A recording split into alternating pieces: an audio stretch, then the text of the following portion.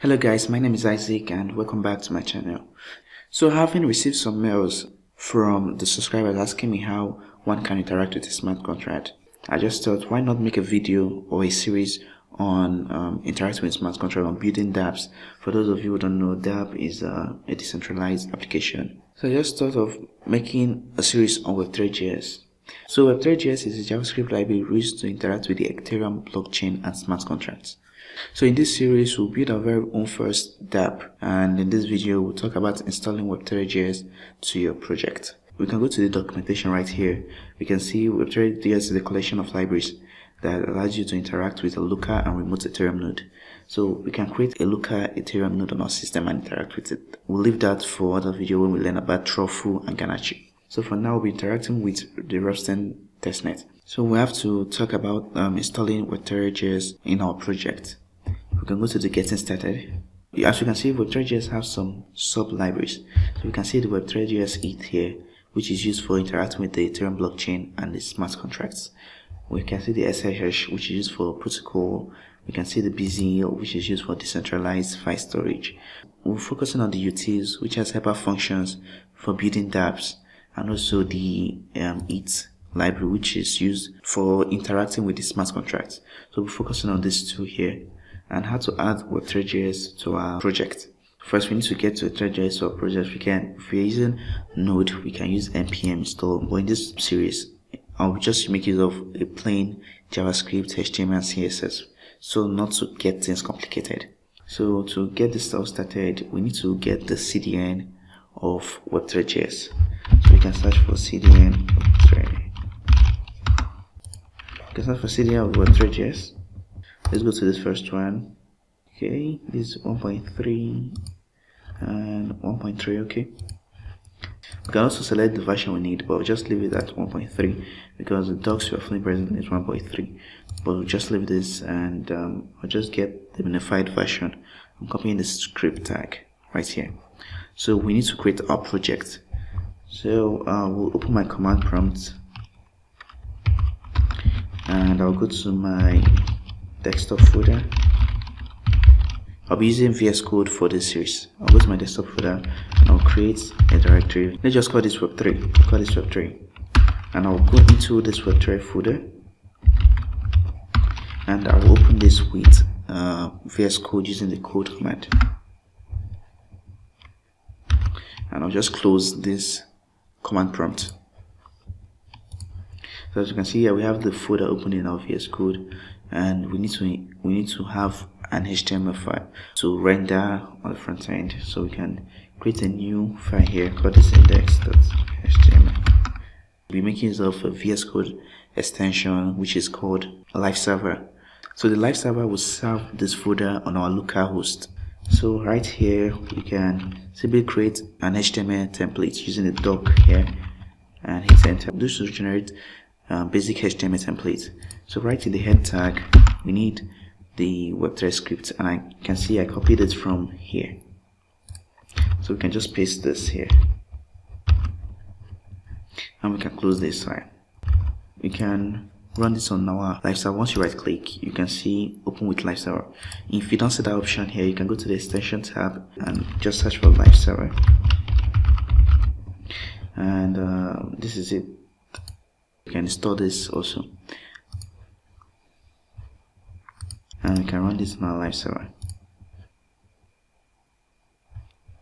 So this runs it on our local host. As you can see not much is happening here.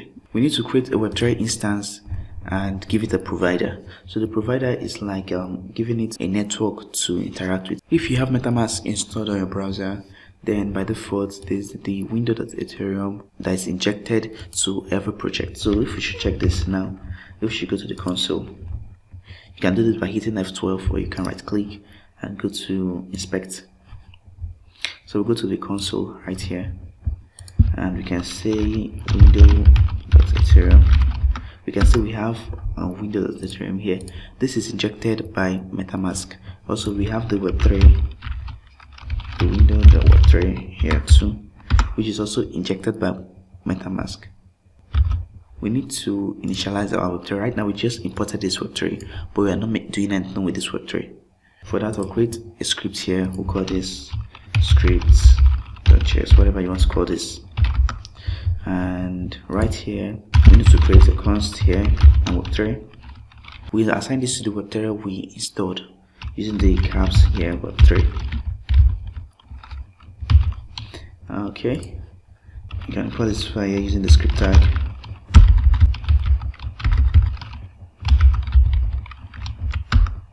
And here we just have to go to script.js right now we've imported the scripts and we've initialized our web and we did not pass any provider.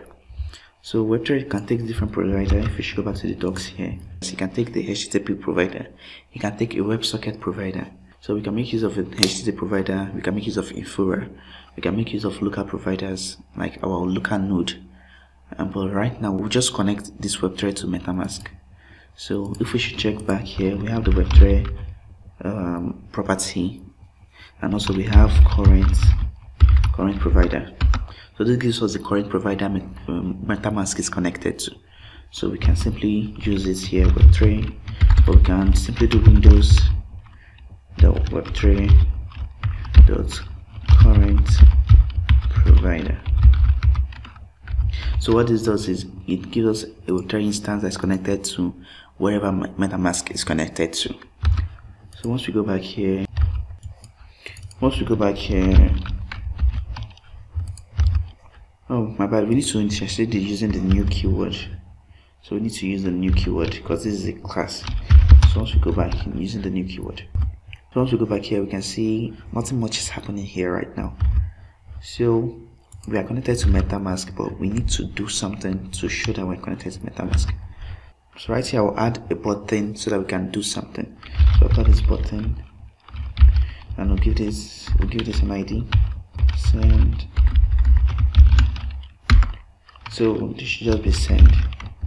No styling here this is just a basic button and is just a basic button that does nothing so we need to hook this in our script tag i'll create a click listener for this button so i'll do this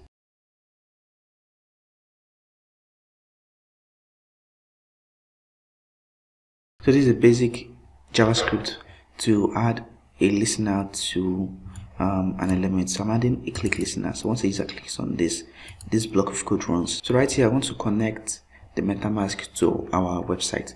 So right here, we can make use of the Ethereum that is being injected to us. Window.web3.currentProvider.enable. So what this does is it enables uh, MetaMask or whatever provider we are connected to. So once we run this, couldn't find my element let's see right here this is send and this code is connect